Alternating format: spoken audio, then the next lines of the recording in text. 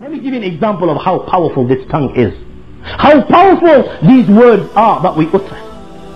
We don't even realize what we say. This is why we do not know what we're on about. Nabi Kareem sallallahu alayhi wa sallam said that on the night of Mi'raj, I saw an ocean. And this ocean was so big that only Allah subhanahu wa ta'ala knows the limits of this ocean. And on the side of this ocean was an angel taking the form of a bird. And when a person says, Subhanallah, this angel moves from its place.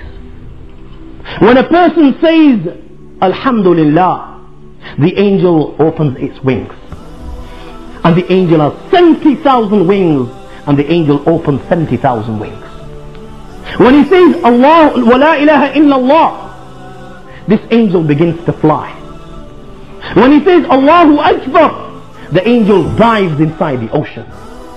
And when he says وَلَا حَوْلَ وَلَا قُوَّةَ إِلَّا بِاللَّهِ الْعَلِيِّ الْعَظِيمِ The angel comes out of the water and it flaps its wings.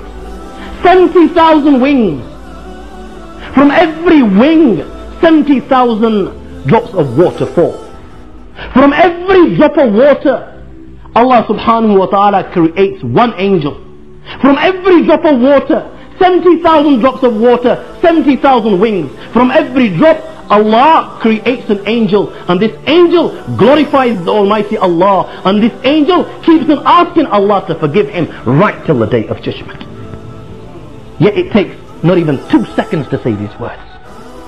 When a person says, La ilaha illallah, Muhammad Rasulullah, Allah has created a pillar next to the arsh. And soon as the servant of Allah utters this word, this pillar begins to shake in front of the Almighty Allah. The Almighty Allah says to the pillar, Uskun, stay firm, do not move. The pillar says, Oh Allah, how can I stay firm when the sayer of this word has not been forgiven? Allah says, stay firm. Now the sayer of this word has been forgiven. How long does it take to say, La ilaha illallah, Muhammad Rasulullah? We're uttering these words at this moment in time and this pillar is shaking in front of the arsh of Allah subhanahu wa ta'ala.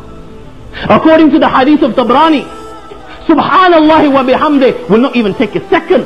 Prophet sallallahu alaihi wasallam said, 124,000 deeds are written in his account. Subhanallah wa bihamdi and the angels have written them. When a person says, La ilaha illallah wahdahu la sharika la, أحدا صمد لم يلد ولم يولد ولم يكن له كفوا أحد It takes 3-4 seconds and the angels according to the hadith of Tabrani Nabi Kareem sallallahu alayhi wa sallam has said that the angels have written 2 million deeds in his account 2 million deeds Today you and I we have no time for the small things in life We're thinking about big things, big battles Yet it will, it will be these things that will help us tomorrow on the day of judgment